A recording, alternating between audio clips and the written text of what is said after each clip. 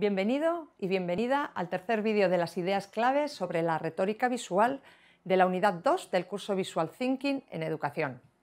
Soy Garbiñe Larralde, creadora de este curso que nos acerca al mundo del pensamiento vehiculado por imágenes.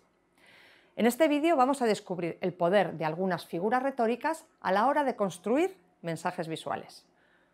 Una figura retórica se define como la operación que parte de una proposición simple y modifica ciertos elementos para construir una proposición figurada. En cualquier ámbito de la imagen, como la fotografía, el diseño, la publicidad, el cine, el cómic y, como no, el visual thinking, el conocimiento de las figuras principales de la retórica visual es fundamental para crear discursos. Las figuras retóricas se pueden clasificar según la relación que las une con los diferentes elementos de un mensaje visual. Así podemos hablar de diferentes operaciones a la hora de crear figuras retóricas. En primer lugar, hablamos de adjunción, cuando lo que se hace es añadir algún elemento que incrementa la información, pudiendo concretarse en rimas, comparaciones, repeticiones, acumulaciones, etc.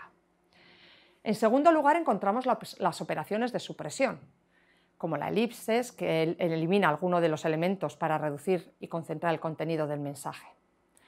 En tercer lugar, hablamos de la sustitución, que suprime un elemento para añadir otro, que genera nuevas alusiones, como el caso de la hipérbole, la paráfrasis o la metáfora. Por último, tendremos las operaciones de intercambio, que efectúa dos sustituciones recíprocas y entre las que podemos mencionar la sinécdoque y la prosopopeya.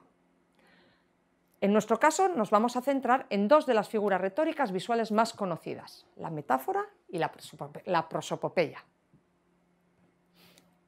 Para empezar, la metáfora visual es un recurso que utiliza una imagen simple para representar un concepto abstracto y nos permite de manera rápida y sencilla hacerlo comprensible. Muchos de los mensajes visuales que nos rodean están basados en metáforas, que nos remiten no solo al objeto que representan, sino a una idea compleja relacionada con él, como por ejemplo la bombilla que simboliza una idea, el reloj que nos habla del tiempo, las gafas de la visión, una diana de los objetivos, la interrogación que plantea una duda, etc. A veces es algo más complicado describir ciertos conceptos con imágenes, por lo que es común el empleo de otra figura retórica, muy frecuente en la publicidad, como es la prosopopeya visual o personificación, que sirve para atribuir a objetos o animales características o cualidades propias de los humanos, con el fin de generar nuevas lecturas y enriquecer la comunicación. Ahora que conoces el poder de la retórica visual y has descubierto alguna de sus estrategias, ya puedes empezar a pensar en cómo aplicarlas a tu trabajo. Sigue adelante con el curso para seguir conociendo fórmulas que te ayudarán en el uso del Visual Thinking.